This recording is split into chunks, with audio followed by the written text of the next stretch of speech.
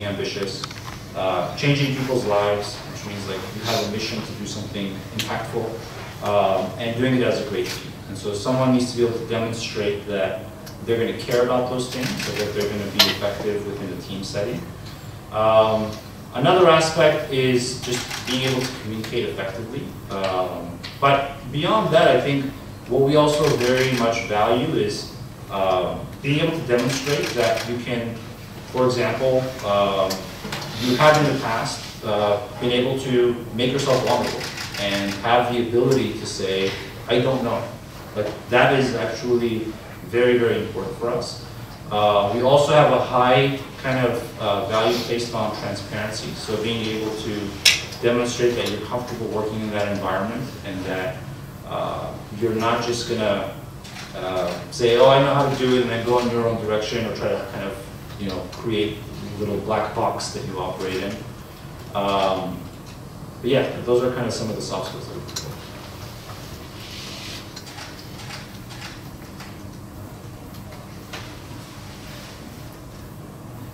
Did you launch uh, an internship program for uh, students, not experienced people? So um, the way we're going about doing that is um, we're thinking about it in terms of steps. And so right now, we just completed our first step, which was let's validate that we can get a small group of senior experienced people to deliver that first success. As we think about the next steps moving forward, we recognize that we have a, a, a need and really a responsibility to start developing some of those talents within kind of ServiceTitan, as in not just expect people are going to come in and from day one be able to do everything we need them to do, and that we're going to be the ones that kind of provide that training and that uh, career path. Um, that obviously takes time, and so as we go through kind of our iterations, then the time horizon that we work within is going to get longer and longer. So We've started doing some curriculum and some training on some of the specific areas of technology as kind of a first step. Um, but what I would expect is, assuming that we're able to continue the momentum that we've built so far, that we will increase the scope of our kind of programs that we have. So I suspect we'll start doing internships with universities, we'll probably collaborate on perhaps running some of the classes, and there's probably a whole list of opportunities that we can discuss about how Service ServiceTitan can interact with the universities and open up some of these uh, programs to the, the, the wider population. Uh, but our approach has always been to uh, take very concrete, specific steps with very clearly identified success criteria. Because I personally believe it's a mistake to try to do everything all at once in the first step. And so our goal is to eventually get to a place where we're making the biggest possible impact, but to do that within kind of gated uh, steps in the process. So uh, Ashot, maybe you can speak to what our current plans are for any sort of internships, and if you don't have one, that's okay too. But what, what do we currently have planned in terms of availability? So currently, we're still aiming to grow our senior engineering team to between 15 to 20 people. So only after that we would be able to absorb more uh, less senior people because it's also a in, uh, high responsibility when you're taking on interns so that you don't just take them and have them sit there but you're taking on the responsibility to coach them. So we want to first make sure we have the necessary capacity before we take on that. I think we are currently looking at about at least half a year until we can reach that point. And currently we're also actively organizing trainings to help people, actually also to, for the mid ones to reach the senior level so that we can hire them now. So that's another approach. And so this is the very first training we have organized now. It's going to be finished in about three to four weeks. And based on the results of the feedbacks, so we want to start thinking about what we do. Do we repeat that? Do we grow that? Do we do another even more difficult one? So uh, I'm sure if you just follow our Facebook uh, Service Titan Armenia Facebook page, so we're posting all this news there. So.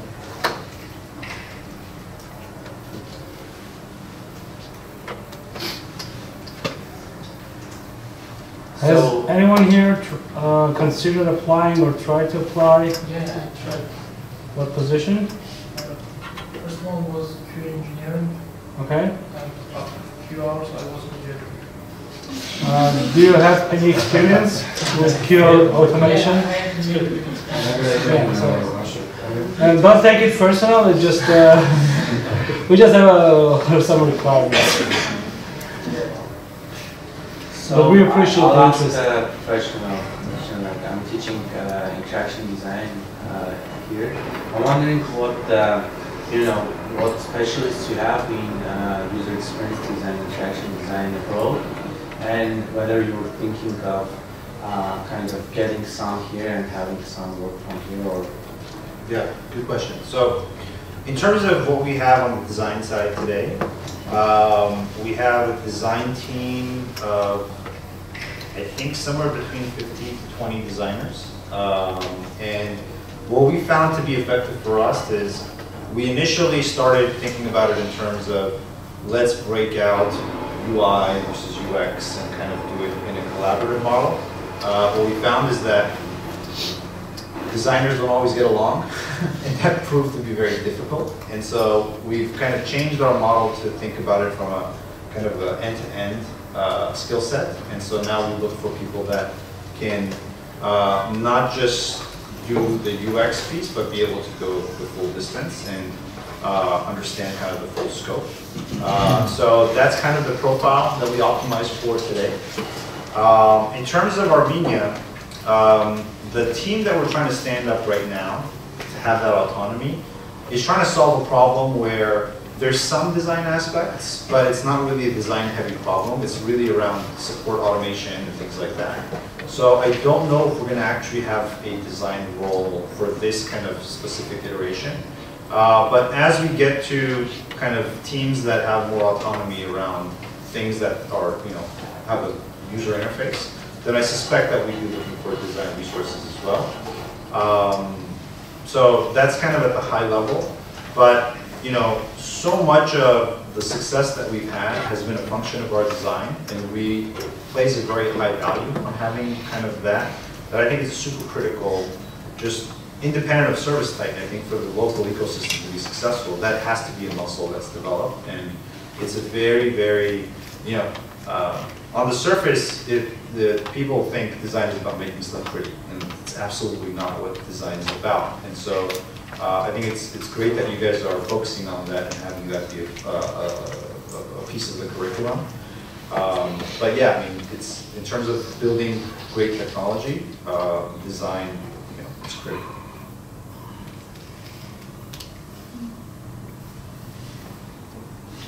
Do you employ data scientists and uh, what are their plans in this area?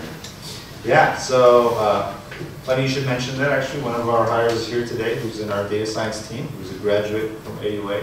Uh, And uh, so, it- at a high level, yes, we actually have a few teams uh, that we kind of employ data science towards. Uh, We have a team that, uh, I think today we've got something in the neighborhood of six or seven data scientists uh, within the product organization. And uh, we also have a team that's kind of an internal operations team, where they essentially are, again, apply data science to our own you know, customer acquisition efforts and our internal finance and forecasting and all those kinds of things. Um, Long term, the vision is to essentially embed um, machine learning and artificial intelligence in every aspect of the product, and that's kind of what we're gearing up to do. Um, And right now, we're in the phase where we're still trying to set up some of the basic infrastructure you need, the data pipelines, the training infrastructure, um, the, the design elements of it, you know, like if you think about how that technology is used, uh, a piece of it is about making predictions and and incorporating that, but a piece of it is also the automation of taking over a certain functionality that today is done by a human and having the machine do it. Well, one of the biggest challenges in doing that is not only in having the thing actually work in terms of making the right decisions, but also communicating with the user about why it's making the- decisions that it's making, and getting that trust to then hand over that decision. And that's actually a design challenge as much as it is a uh, data science challenge. And so as we think about what is it gonna take to get from where we are today to kind of an ideal future state where anything that can be automated is automated and you have, you know, this, uh, machine learning aspect of it. Uh, we think that one of the bigger challenges is just winning that trust. So today, what we really focus on is, what is that interaction with the user gonna be like in order to get them to actually hand over that power of making decisions? You know, for example, uh, we have this feature within Service Titan that we call Smart Dispatch that automatically assigns uh, which technician should be assigned to do which job. Uh, and on the surface, you know, like our customers today spend literally hundreds of millions of dollars on payroll paying someone to do that job. And we have this tool that they literally can flip the switch and it automates it. Vast majority of them don't use it. Why? Because they don't trust it. They, they have very uh, few ways right now to know that this is the actual right decision. And so, in that very specific example, in order to get the full adoption of that feature and the full value of it, it's actually a, a challenge in gaining that trust. And so now we're thinking about ways of, okay, what should the UI and UX be of how this thing is turned on? What is the right way of communicating to the user why this decision is better than what the human would have done and so forth?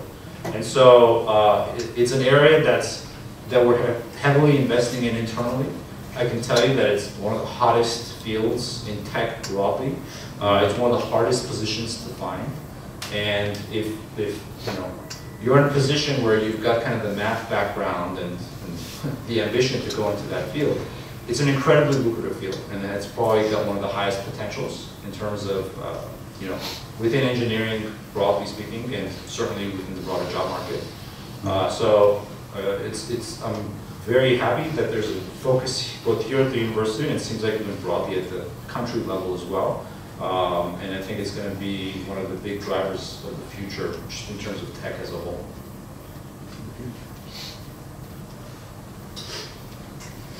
Can you describe uh, ServiceTitan how it's working, its services?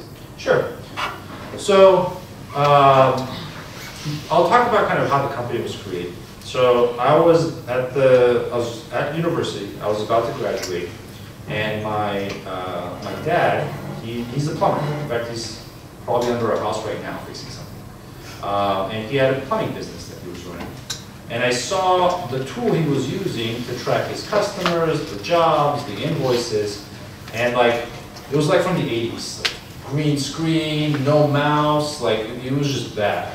And so I thought, Dad, like, of course, using the wrong stuff, when I'll just go Google and I'll find something to replace this system he was using to run his business. And when I looked around, I was like, man, everything sucks. There's no good products out there. So I figured, okay, I'll spend a few weeks, I'll put something together, and then I'll go be an engineer at Google or something. And so I started kind of tinkering and building it, and then, you know, a few weeks turned to a few months, and then I kind of realized, oh, this is actually a much deeper and more complex problem than I originally recognized. And that's kind of the beginning of the company. And then I met my co-founder who was working on a very similar problem, and we just kind of started the company there. But to answer your question, what we do is we provide a tool that's used by companies that provide services in the home. So um, if you, let's just say you have a plumbing company in Texas and you have 10 trucks that you then send out and they do services in people's homes. The way you Service Titan is you Service Titan to do all your marketing analytics so you understand every advertisement that you put money into, what is that yielding in terms of an ROI. We do all the call center management, so when the customer calls in, the agent uses our system to answer the phone, to capture the customer's information, to give them history, to book the job. Then somebody uses Service Titan to figure out which technician goes to, to which house.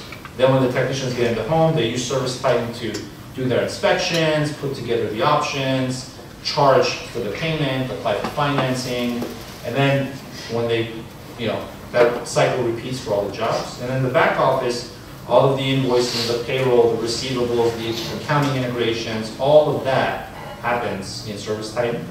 And so the value that we bring to our customers is that we take all these various things that needs to get done for any business, we put it all into one package, And that's kind of where the value creation happens, because what we discovered is that, just like my dad, this entire industry is full of people that are not technical. So, for example, at Service Titan, you know, we've got hundreds of engineers and we have all these things, and we're able to implement Salesforce and put on marketing automation and put on some forecasting software and accounting and do all the technical integrations and make sure the data is flowing and blah, blah, blah. Well, these businesses can't do that. And so while there were solutions out there that were point solutions, that were marketing analytics solutions or call center management or whatever, the big piece that was missing is nobody had taken these pieces, put them together, and put it on the internet so that it was accessible. All our competitors were kind of old legacy systems that were more Windows-based and so forth. So that's what we do. We're a tool that's used by businesses. Uh, we don't actually interface with customers. And in fact, most people look at us and they're like, "Oh, you're like an Uber for plumbers. and like that, that's not what we are at all. We don't inter- we- we're not a marketplace where we connect consumers to the thing. Uh, we're like a back-end tool that's used by these companies to run their business. Should dad using your? Yeah. That'd be embarrassing, right? If that's using competitor, yeah. And, but it's all on the cloud, it's It's all on the service, cloud. software as a service. Yeah. So they pay as they use? Yeah. So just to give you a sense on the business side, um, if you look at the average Service Titan customer and look at what they were paying their previous supplier or the previous vendor, we are at a minimum 300% more expensive, and many times we're even higher. You know, 10 times more expensive is not uncommon. In fact, we had one customer, this is the most extreme example, he went from paying $600 a month to his previous provider to $30,000 a month to service them. Why? Because we're able to demonstrate to him that using Service Titan, he's able to make more money because, you know, we make his marketing a little bit better, and we make his call center a little bit better, and we make his performance in the field a little bit better. And what ends up happening is the impact compounds on each other. So the top of the funnel, the middle of the funnel, the bottom of the funnel, and we're able to demonstrate that as a business, if you, if, if you, uh, the way we communicate to our customers is, look, we're gonna create this much value for you, and we're gonna take this much in return back to us. And as long as that ROI exists, the pricing conversation is around the value creation. And so we never competed on price, that was never our strategy, that'll never be our strategy. We will always be the most expensive product out there. As long as we create the most value, then it still makes business sense for our customers. And I think, you know, when I talk to Armenian startups here and just kind of the uh, community here, the, the default is always, let's try to do the same thing that the competitors are doing and go cheaper. And in my opinion, well, obviously like for Amazon and everything and Walmart, sure, that's a strategy that works very well a lot of the time. But when you're talking about technology building a technology business, that's not always the right way to go. That's certainly not the way that we went. Uh, what we find is that a lot of the companies today that are being successful are focusing more on value creation and creating as much value as possible. And then you try to just charge as much money as you possibly can. And that's kind of an iterative process and you're gonna experiment and test. Uh, so it's not always clear kind of what the pricing is. We still don't understand what the right price should be. We just kind of try and see if it works. And sometimes it does, sometimes it doesn't. Um, but we're a tool that's used by these businesses and we charge by user. So for every user they have on the system, um, you know, they pay us money. That's how it works.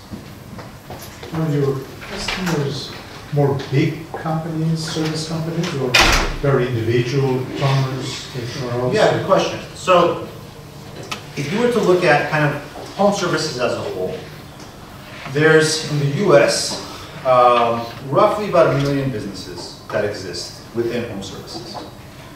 Within that group, we today only serve companies that do plumbing, HVAC, and electrical, companies that are focused on service, not new construction, companies that are focused on residential customers instead of commercial, and companies that have uh, five employees or more. And so when you do that, you go from about a million potential customers to 30,000 potential customers. And even though we're a billion dollar company today and so on, we still today only focus on the 30,000. So if you came to us today and you were a one truck plumbing shop, we don't even let the software. We just say no, it's not gonna work. Because we know that we're not a good fit for those guys today. that the product is too big, they don't get the value from it. And we haven't figured out a way yet to make that work for them. So within the industry that we serve, we're known as the ones that serve the top end of the market. But because the market is a fragmented, highly small, all our customers are still small businesses. Like our biggest, biggest customer maybe does 100 million a year, which is still considered a small business in the US. It's still like a family-owned type of thing. So we don't sell to the Fortune 500, none of our customers are public and so on and so forth. Eh, From a category perspective, we're still focused on SMBs. But within our market, we service the bigger end and the ones that are generally the larger ones. But we don't go any smaller than five employees. That's one of the areas that we're looking at for growth potential.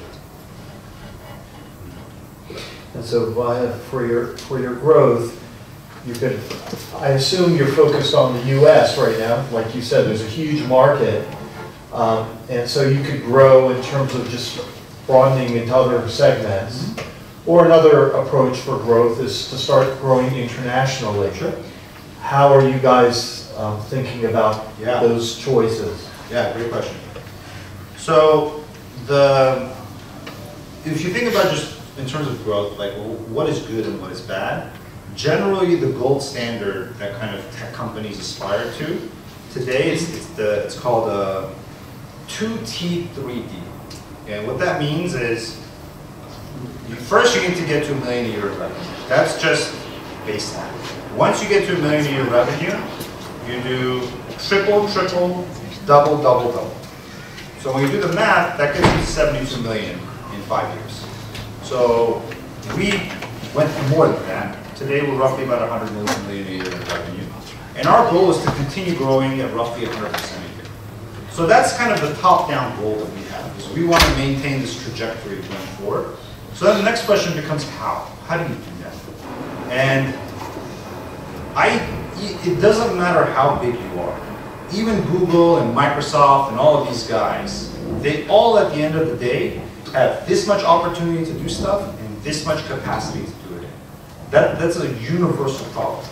And so then that means, okay, so of all the opportunities there, where do you invest? It's a fundamental resource allocation problem. And so for us, when we think about our growth, it, we, there's a few different vectors involved. So just going back to that initial sizing, out of the 30,000 customers, today we're roughly about 10%. So our number one growth vector is just within our home base, just continue that growth of maybe becoming, we think it, we can easily be 60%, 70% market share, just given the dynamics of the market. So that's kind of goal number one, is win within the home space. Beyond that, the additional vectors of growth are essentially, if you think about that, uh, what we call our ideal client profile, uh, plumbing, HVAC, service not new construction, residential not commercial, five technicians and above. Well, if you loosen any of these constraints, then you have additional vectors for growth. And the exercise that we're going through right now is essentially we have an entire team of like, I don't know, 15 people now that just focus on this problem, trying to understand what is that right next incremental step. So is it to go into roofing and windows and lawn care? Or is it to go into commercial services where they're servicing businesses? Or is it to go into new construction where they're building entire tracts of homes? Or is it to go to Europe or to China? Or for us, what we found is that because we're like that end-to-end operating system, we're able to develop new products and sell for existing customers. So for example, uh, a few years ago, we realized that all of our customers need to process payments. And so we're like, oh, we, we can do that. And so we made a payments product. And uh, we realized that because we have this operating system that these companies are using, we could do things that no other payment processor can do. So for example, we keep the technician within our app, so the user experience is better. They don't have to switch to a different app. We can attach the payment to the invoice. So that's a step that nobody else can do because they don't have access to the invoice. We can know when the money goes into the bank, what payments were there, so we can automate the process of doing the deposit and the reconciliations and so forth. And so because there was all these opportunities for value creation, we were able to be basically impossible to compete with. If you're running on Service Titan, it makes no sense not to use Service Titan for your payments. So that's why we charge more for our payments than the rest of the competition does. We have I think today, something like eighty percent of our customers using our payments product, and we charge probably like 20, 30 percent more than the other payment providers. And why do our customers do, choose to do business with us? Well, because we create more value than anybody else does. And so the other growth vector for us is investing and building in products that we can then sell to our existing customer base. So when we take a step back and think about, okay, the high level goal is to continue growing at 100% for the next few years. Um, then, you know, it becomes an exercise in optimization, right? This is the universe of possibilities for us to invest in. This is how many resources we have. I mean, and even after, you know, raising 300 million and having 700 employees, for us, it's still not enough. Like, there's still way more opportunities than we have to invest for. And so we're figuring it out as we go along right now. Are most of the students here in engineering? Probably computer science, some engineering, maybe odds and ends, others. Got it, yeah. If call computer science engineering, so. Yeah, well, I mean, in our, Yeah. sorry, just to to differentiate.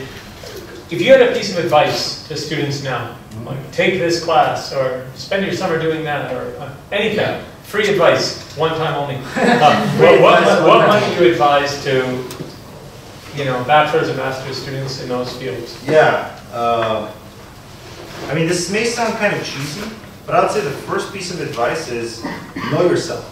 Like, try to understand what you really, really want and what's important to you. Because I think that is the starting point of, of any sort of like big life decisions. Uh, for me, I always knew that I, I needed to be really successful. Like, that was really important to me, and I kind of knew that, you know, frankly speaking, I really, really wanted to be, I wanted to make my parents proud of me, I wanted to be rich, I wanted to make an impact. And so that by itself eliminated a whole set of possibilities, because that was really, really important, and I knew that I needed to have that for me to be content with myself. And, but that had a bunch of consequences, like, it's not easy to start a business. It- There's all sorts of hardships along the way. And I made a conscious decision early on that I was gonna sacrifice a whole bunch of things, and I knew I was gonna have to work really hard to get there. That might not make sense for everyone. In fact, for sure it doesn't make sense for everyone. So I think first step is just understanding what's important to you and being realistic about what that means. Uh, in terms of tactically what that looks like once you go from there, I would say, generally speaking, technical skills are super, super important. So being able to, like, the specifics within that, I think statistics is incredibly useful, just across the field. Uh, there was one class I, I took in school, which I absolutely hated when I was taking it. In fact, I dropped my business major because of this class. It was accounting. And I, I hated it so much, I remember thinking, I would rather dig ditches for a living than ever do accounting. Today, there's probably no class that I've ever taken that's as useful as accounting is. I use it every single day. Uh, so I think accounting is super, super important if you're gonna do anything in business. Um, and then just on the technical side, um, I, I really value SQL skills in, in my interviews. I think being able to process data, just even for a product manager or, or, or anyone, that's, that, that's uh, really useful. But you know, anything beyond that is really specific to the path that you want to go down. Uh, and one of the things I really recommend people do is to really paint this image in their mind of where is it they want to end up. And then just go look at what people want, right? It's not a mystery. this is not some big secret that companies are trying to hide. If you want to be a data scientist, go pull up all the job descriptions of data scientists. Look at what they're actually looking for. If you want to, you know, be a designer, then go see what kind of experiences are valued, what are some of the skill sets that are necessary. When they describe in the job description who they're looking for, you'll be able to understand what those, those gaps are. And then, of course, I'm partial to kind of computer science and engineering, so anytime like family members or anybody seek for advice, I'm like, go learn computer science. Like, just, just trust me, go, go, go learn it. So I think if that's something that is exciting to people, it's certainly kind of a, a very, very useful uh, skill set. And I don't know anyone that's graduated computer science and is a programmer that can't find a job and is, isn't able to make money fairly easily. So that's how I think about it. Thank you. I have a, you know, there's often discussion uh, in the university. Often students want practical courses. They don't, too theoretical, too theoretical. They want practical courses. And in fact, if a student looks at job descriptions as you're describing, they'll say you need to know C++ programming, you need to know this, this, this. But you know, uh, things change in, in the real world. Yep. And I'm of the opinion that rigorous, solid training in some of the theories is essential for people to succeed long-term and also have leadership positions. Uh, You know, I, I often give this example. California has a marvelous education system because they have planned it so well. There's the junior college, then there's Cal State system, then there's the UC system. Many companies prefer Cal State graduates because they're practical, they hire them, they immediately know the codes, they know the language, the programming. But 10 years later, you come, that guy is still doing the same. Yep. You see graduates who are stronger in theory. They may not be immediately usable in terms of the practical needs, but they come back 10 years, 20 years later, they are the leaders. Yep. They are the ones that are able to adapt to new needs Sure. in the industry, quickly learn new stuff and, and follow. And when you're a student, you don't see that long term. You see the immediate. So, for example, our students would complain that there's not enough program. Because when you go to work, the programming is the first thing they do. Yep. So why do I need all that math? Why do I need the statistics? What's your view on this? Yeah, good question. So, um, if we were talking about this earlier, actually. Um, so I, I have a bit of a controversial view on this. Um, I would push back on the premise of the question.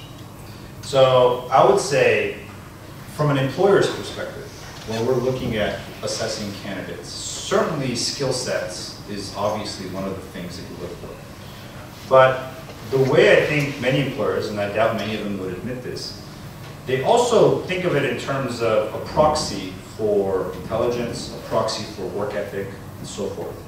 And so, for example, when I see an applicant come in who- who's gone to Harvard or Stanford or whatever the case may be, even if they didn't learn anything while they were at Stanford, and they were, took some random class that had nothing to do with what we are hiring them for, just the fact that they got into Stanford is already a huge signal.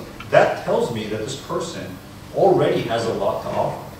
So I think in some ways, the university, the badge that you have on that university is really a signal to what filter you were able to pass through just to get in. And then the skills that you learn in the process, I think, in many ways are almost secondary to that kind of filter aspect. Now, in terms of the conversation between the practical aspect and the theoretical aspect, like, you know, I went to USC, which is one of the, the better uh, engineering schools in the country, and we can debate whether the UCs are better than USC. Some UCs are probably better. But like when we were learning programming, it was still probably two or three languages behind what the current state was, and it was very much theoretical. And so, like when we hire an engineer out of school, we're expecting to have to train them on our specific technologies and all those kinds of things. And sure, it would be great if they had the latest language that they learned. But part of the value that we see in someone who has a computer science degree is they know how the whole thing works end end.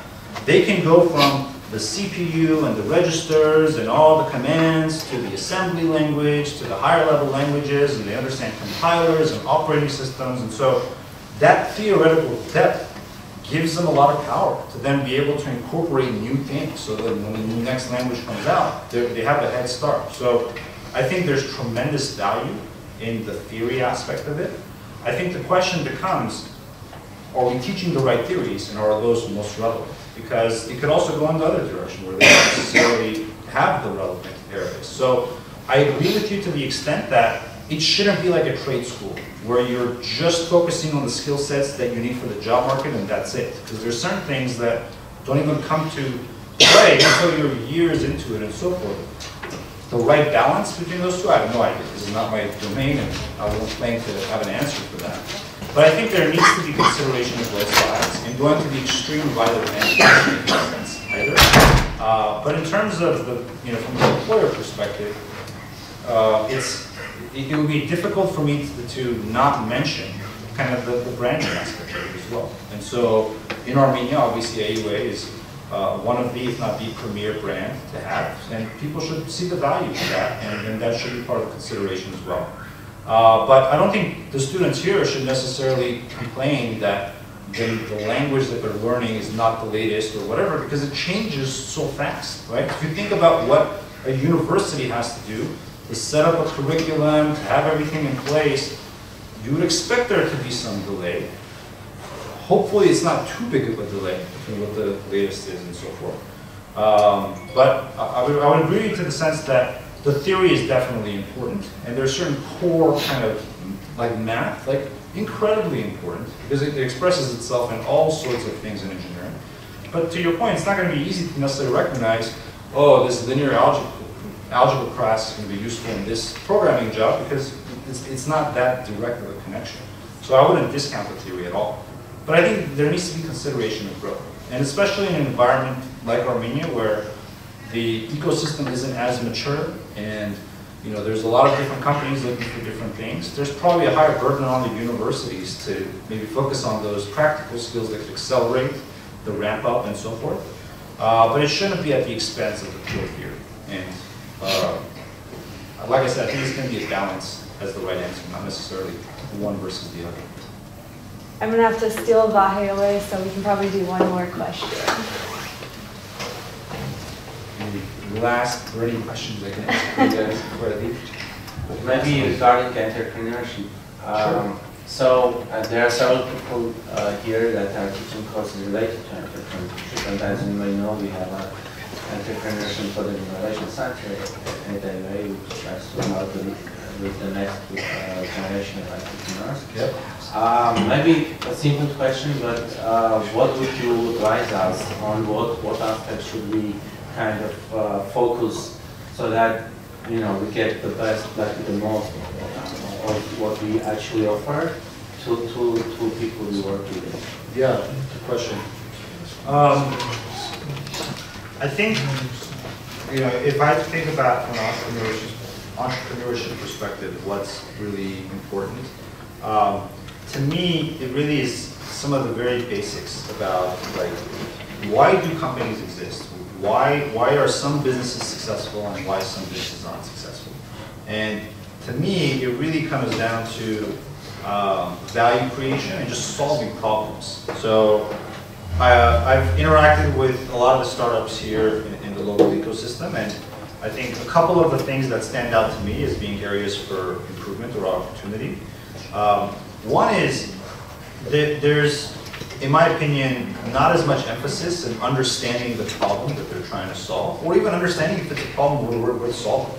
So just the idea of being able to like think I would say if there's one principle that should be being hammered home in any entrepreneurship class is that you should start with the premise that you don't know.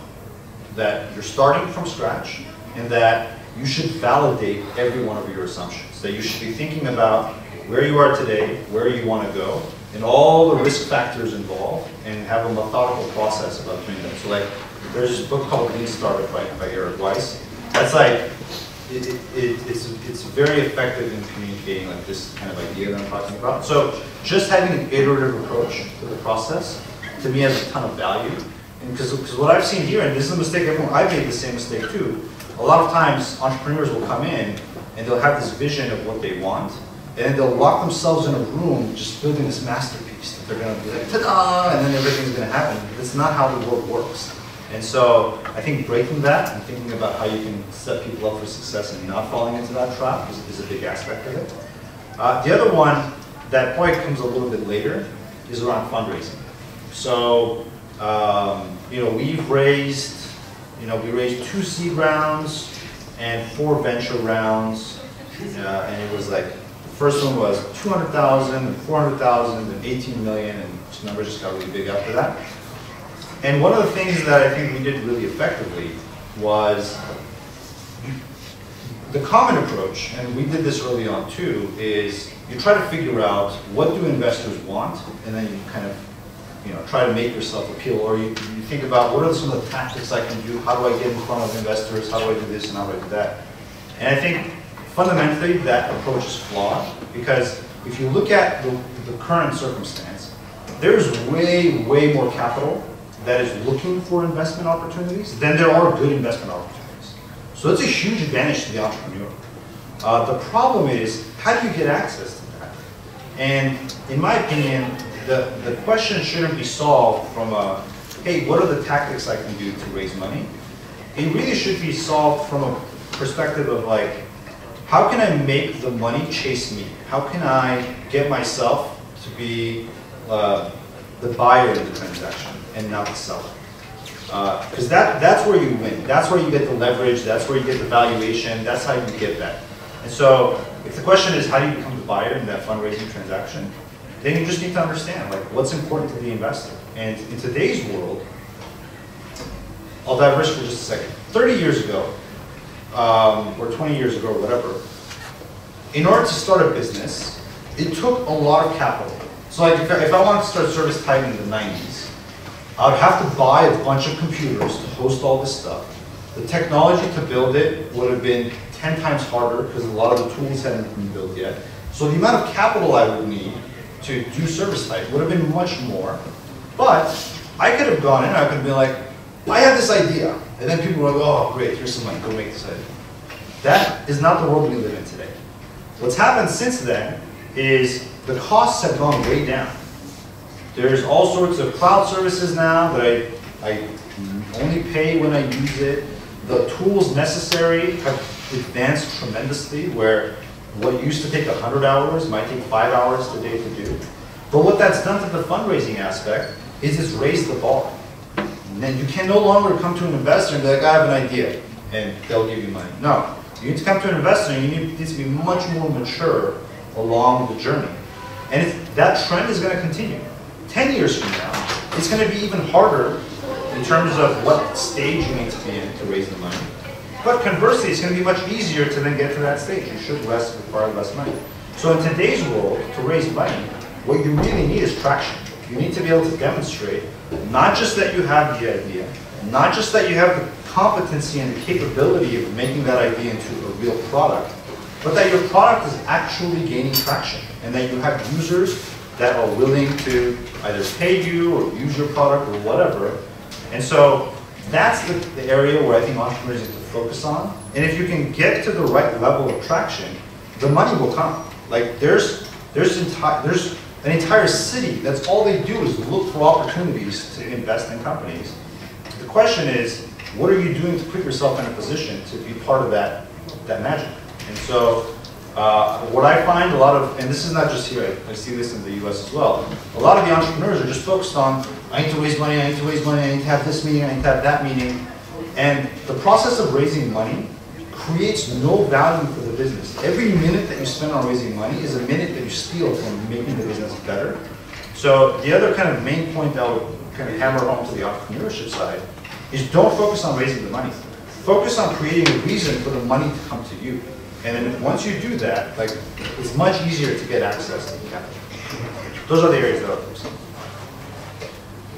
Can I just make a brief statement? So, um, many of you may know, Vahe was here a year ago and gave a talk. And his talk was more about the business and how the business started. And it was very inspirational. So I just want to thank you for what you're doing. Um, you're inspiring all of us. Um, in our courses, I teach entrepreneurship. ServiceTitan is an example of a business that we talk about in our course. Um, at the same time, we know that you didn't have to come to Armenia. We know probably you had to convince your board to do it. Even you spending a week here is an opportunity cost for your company. And so just as an Armenian and from AUA, really want to thank what you and Ada are doing. And it's very inspirational. It's very important. And I think a lot of people appreciate it. You guys are a very early stage company. There's so many other things you could do. Just doing this at this stage of your company is really amazing and very laudatory, so thank you. And your comments were very insightful. All right? Thank you, Ryan. Thank you all.